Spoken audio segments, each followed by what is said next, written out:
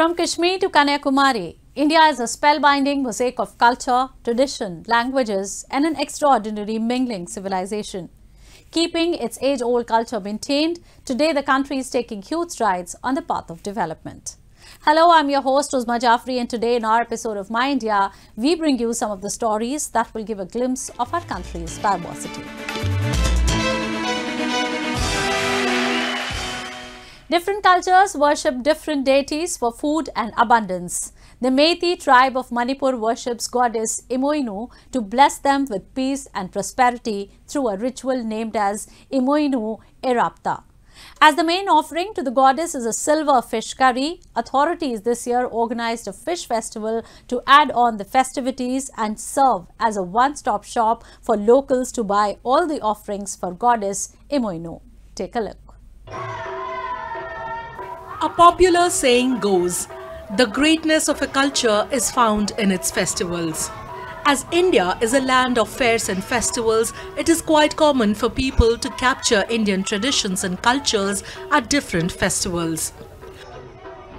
Of a plethora of festivals celebrated by different tribes in the Manipur state, the Imoinu festival holds a special mention. Recently, the people of the Meitei community in Imphal city of Manipur celebrated the festival where the mother goddess of peace and prosperity, Imoinu, was worshipped. Imoinu Iratpa is associated with the goddess of wealth and prosperity. So for the Meitei, uh, worshipping this deity means uh, you are likely to have good harvest in this year, agricultural year, and you are li- likely to accumulate wealth, well in the terms of agricultural products, cattle and all that. For the festival, a ritual called the Imoinu Iratpa is performed at home and public places. People light candles to welcome the goddess and offer fruits, fish and fresh harvest to the deity and pray to the goddess for happiness and abundance. The main dish of the festival is a well-prepared meal with a white fish curry being main offering to the deity. Marking the celebrations, musical and dance performances were also organized in the evening which was enjoyed by the locals. We have seen two way of worshipping. One is inside the household. There is a particular place we call is Punga, where uh, we make prayer. And uh, another is in certain places like in Kobru. Uh, there is a shrine of the goddess and the Chengai Singh also there is. And in every uh, uh, uh, royal palace of the Meitei kings also there is particular place kept for this goddess. The significance of observing this particular day is worshipping the Imoinu goddess for getting us abundance of wealth and also this is one of the goddess of Meiteis which gives ethical cost uh, that a human being follow in their daily life. So it is about to get energy, life force energy and abundance of wealth. As the white fish is the main ingredient that is offered to the deity on this festival, the Fisheries Department organized an Imoinu Fish Festival at Hapta Kangjeibung in Imphal East. A total of 90 stalls were set up by different departments as well as private firms free of cost. In a way, the festival is a one-stop center for public to easily buy all items required for Imoinu Iratpa as vegetables and other offerings were also present at the fair. The prices of the fishes were set by the fisheries department and therefore the fair was thronged by a large number of locals. The specialty of this particular uh, festival or ritual is that on this day we offer uh, white or silverly color fish to the goddess uh, and we also believe that by offering the, the fresh fish, fresh vegetables and other eatable uh, fruits like and uh, will bring prosperity and progress. Toge- Altogether, we have uh, 90 stores uh, open this time during this festival, and out of this, uh, 60 has been earmarked for the fishery stall. History goes that worshipping goddess Imoinu began in the 5th century when only the royals of the Meitei community were allowed to worship the goddess. Later in the 15th century, commoners also started worshipping the deity. The festival is celebrated by different names in different parts of the state. Moving on. In the multicultural society of India, mass marriages are setting in vogue these days. Recently, 300 couples belonging to Hindu and Muslim communities in the Aligarh district of Uttar Pradesh tied the nuptial knot during a mass wedding ceremony organized by the state government. In addition to being financially advantageous, these unions serve as a wonderful illustration of the nation's prevailing fraternity and unity. In the state of Uttar Pradesh, around 300 couples belonging to Hindu and Muslim communities exchanged wedding vows in the presence of their relatives and friends. The ceremonies were conducted by priests and religious leaders in accordance with their respective religions. In addition to fostering a sense of social harmony between the two communities, these celebrations allow the members of society to lavishly celebrate their nuptials without any financial burden. Mass marriages are getting immense popularity these days. ये एक बहुत बड़ा संदेश है कि बहुभाषी और बहुधर्मी देश में समाज में एक ही परिसर में एक तरफ़ काजी निकाह पढ़ा रहा है, मुस्लिम जो मत के मतावलंबी हैं, उनकी शादी के रूप में। और दूसरी तरफ़ भावरें पढ़ रही हैं, जो हिंदू मत को मानने वाले लोग हैं। तो ये एक प्रकार का संदेश भी है कि हम लोगों को इसी समाज में रहना है तो मिलजुल के रहना है। सरकारें सबके लिए समान रूप से कार्य करती हैं तो सरकार की ओर से जो आयोजन है उसमें कोई भेदभाव नहीं है उसमें हिंदू भी हैं उसमें मुस्लिम्स भी हैं उसमें अन्य मज़हब के मानने वाले लोग भी हैं और सबके लिए उनकी मज़हब के अनुसार उनकी मान्यताओं के अनुसार विवाह की व्यवस्था की गई है और सबके लिए जो भी व्यवस्था है उस सबको समान रूप से की जाएगी An initiative undertaken by the state government is garnering praise among different communities in Uttar Pradesh. The state government has also increased the funds spent on these ceremonies. This year, each bride received rupees 35,000 along with household stuff like kitchen utensils, clothes and more. ये जो भी हो रहा है खैर सही हो रहा है सरकार की तरफ़ से जो यहाँ पर सुविधा दी गई है गरीबों के लिए जो गरीब माँ बाप अपने बच्चों के लिए अपनी बच्चियों के लिए काफ़ी उनके अरमान होते हैं शादी करने के, लेकिन काफ़ी सालों तक वो पैसा भी जमा करते हैं, लेकिन गरीब इंसान, मजदूर इंसान नहीं कर पाता है वो। लेकिन ये सरकार की तरफ़ से जो है काफ़ी सुविधा दी जाती है, और हमारे हिंदू भाई भी हैं, हिंदू बहनें भी हैं, उनकी भी शादी है, और मुस्लिम जो है, मुस्लिमों में से भी काफ़ी बच्ची यहाँ पर आई हुई हैं।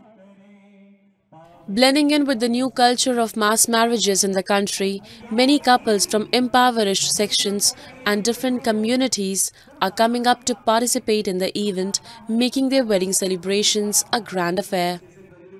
The successful event represented the conglomeration of a wide range of Indian cultures and communities, displaying unity and oneness present among the people of India. Now, a roundup of some of the major stories that made news recently.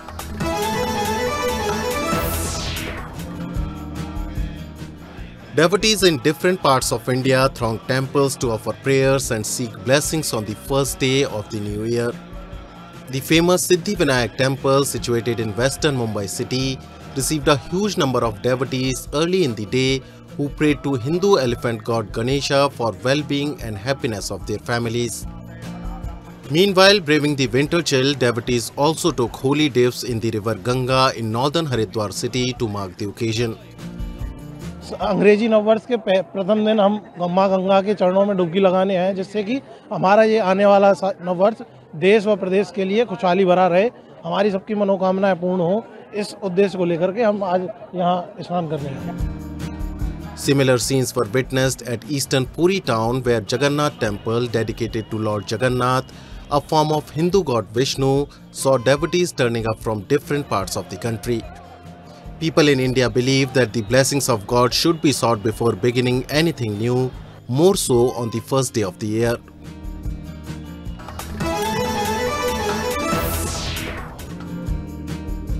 Monks and devotees thronged India's eastern Buddhist holy city of Bodh Gaya to pray for the long life of the exiled Tibetan spiritual leader, the Dalai Lama. The three day program saw the 87 year old Nobel Peace Prize winning monk blessing other monks and devotees alike after he delivered sermons in the city where Buddha is said to have attained spiritual enlightenment under a tree 2500 years ago. The Dalai Lama for the long life. Um, it's been very special and unique experience being here with everyone um, coming from around the world and being able to share in this prayer and in this celebration um, and being in his presence is something that words cannot describe. Um, I hope to take this with me and share this with people back home. Media reports said while addressing his followers, the Dalai Lama said that the Chinese government has been destroying Buddhist temples despite China having a large Tibetan community and thus attempting to eradicate Buddhism from the country. India hosts a large community of Tibetans, including the exiled leader, the Dalai Lama, one of the main sources of friction with neighboring China, which accuses the Nobel laureate of stirring unrest.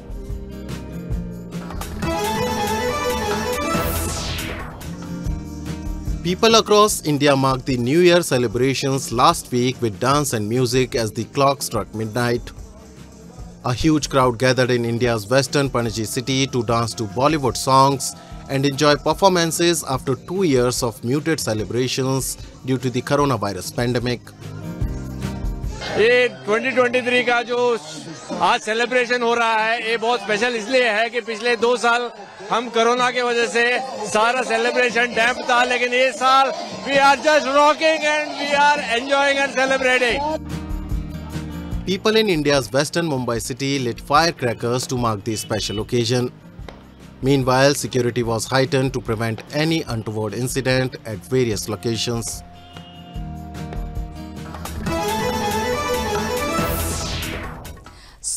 Sufism has entrenched itself at the center of cultural and spiritual life in India. The Union Territory of Jammu and Kashmir serves as the richest reservoir of this tradition and this can be well witnessed during the Urs of Sufi saints when people cutting across religious lines gather under one roof. So, giving a glimpse of this unique devotional culture, today we take you to the 44th Urs commemoration of Mia Mahmood Naqshbandi, which was recently commemorated in the Rajouri district of Jammu and Kashmir.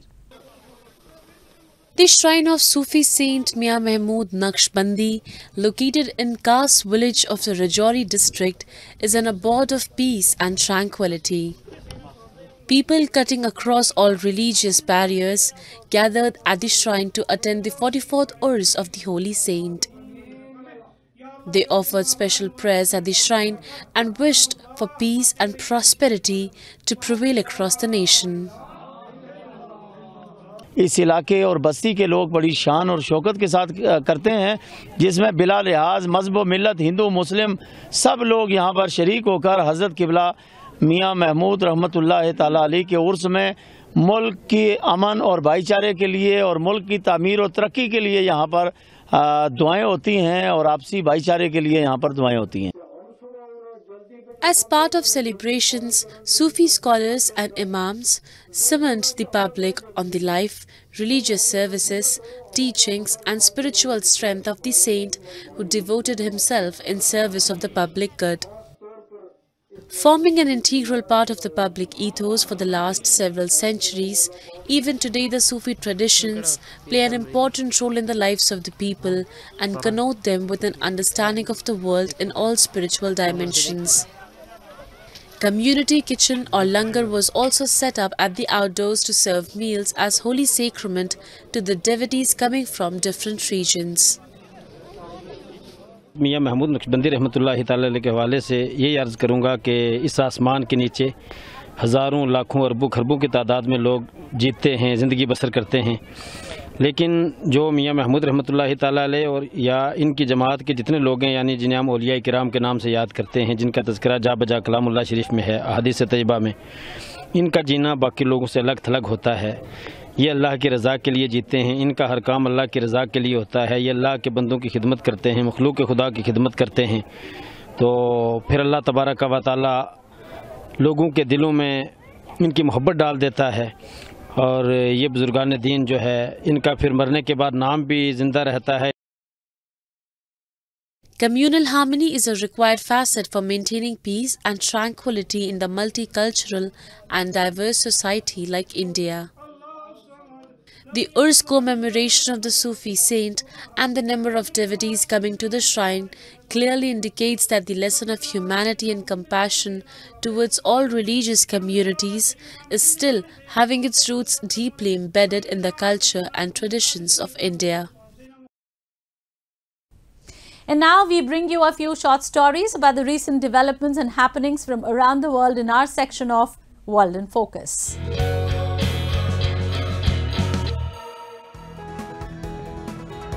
Dressed in Ukrainian colors under bright lights, 13-year-old circus acrobat Maria Kravchenko dazzles an audience in Hungary. It is a much different setting than her home in Dnipro, where she practiced in unheated shelters while a war raged around her. Kravchenko is performing at Budapest's capital circus along with young acrobats from Kharkiv, Kiev, Odessa and Donetsk as part of a Ukrainian youth circus festival to showcase their talent. The Ukrainian artists are between 6 and 17. They gave more than 30 performances alongside competitors from around the world. Peter Fekete is the circus's director. He said all regular programs were stopped for two days in January and the keys to the circus were handed to the Ukrainians. Before the war, the Yaskrava Arena Dnipro International Children's Circus Festival was held every year in Dnipro. Since it began in 2010, more than 1,000 young artists have participated, with the winners regularly advancing to international festivals. For Kravchenko, she is focusing on her art in relative peace while she can.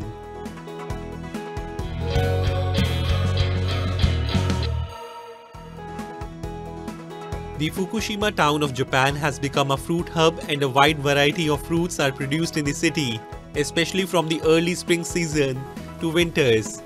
Farmers cultivate fruits like grapes, peaches and pear with passion and skills. This attracts visitors and tourists to Fukushima city. 初夏の果物としてはですねまずさくらんぼから始まりましてそして、えー、夏場の最大の品あの品目であります桃そして、えー、梨ぶどう りんごそして冬場にはですね加工品であるあんぽ柿とほとんどですね季節を問わずですね果物が生産されているのが福島でございましてフルーツ王国福島でございます。日本のねブドウ業界のね救世主でもあるシャインマスカットですね今皮ごと食べられると。非常にあの若い人からですねあるいは高齢の方まで非常に好まれている。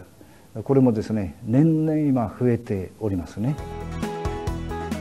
It's been 11 years since an earthquake had hit the eastern part of Japan. Fukushima town has recovered and has started attracting tourists and foreigners.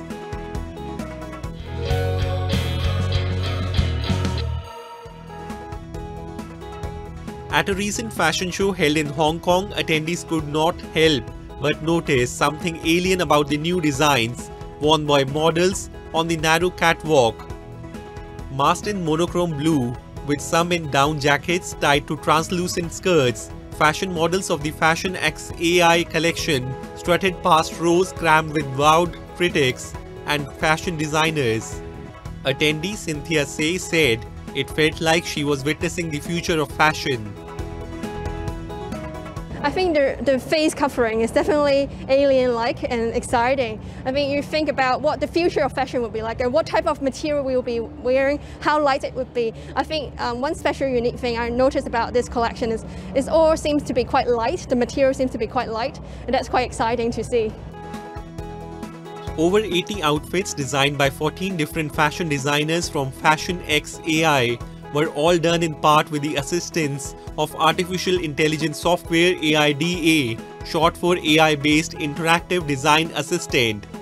The software was developed by PhD students and academics at the Hong Kong-based AID Lab. According to AID Lab CEO Calvin Wong, the software was not created to replace fashion designers, but to serve as a supporting tool. AIDA, the world's first designer-led AI system for fashion, was officially launched with the Fashion X AI show on December 19 and is currently available to designers in Europe and Asia Pacific.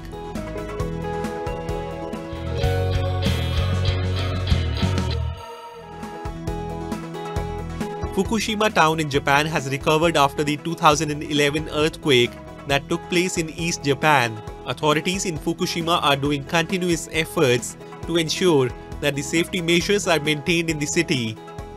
This includes the continuous checking and disclosing of radiation levels in the city. 福島県の主要都市の空間線量率の推移の表になります。こちら23年の4月からこちら令和3年の9月までですけれども空間線量率は急激に下がってその後横ばいという形で現在の空間線量率というのはかなり低い水準に保たれております福島県の空間線量をあの世界と比較しますと例えばあのソウルでいけば0.12マイクロシーベルトパーアワーですし世界の主要都市とほぼ同水準の空間線量率になっております Authorities in Fukushima prefecture have set up monitoring posts in different cities and towns to detect radiation. This data is being collected and published also by the authorities. Earlier, importing Fukushima's food products was banned in around 55 countries, which has now been decreased to 12. Citizens and administration in Fukushima are doing continuous efforts that this number reduces down to zero.